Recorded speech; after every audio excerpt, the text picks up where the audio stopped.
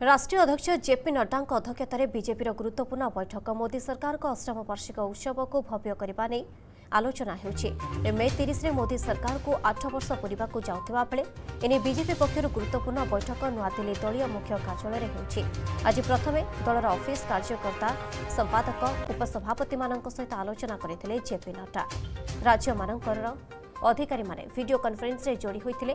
Booth ସଶକ୍ତିକରଣ ଅଭିଯାନ କାର୍ଯ୍ୟକ୍ରମର ଆରମ୍ଭ ହୋଇଥିଲା। ପୁଣି ଅପରାହ୍ନ ତିନିଟାରେ କେନ୍ଦ୍ରମନ୍ତ୍ରୀମାନଙ୍କ ସହିତ ବୈଠକ ଅଛି।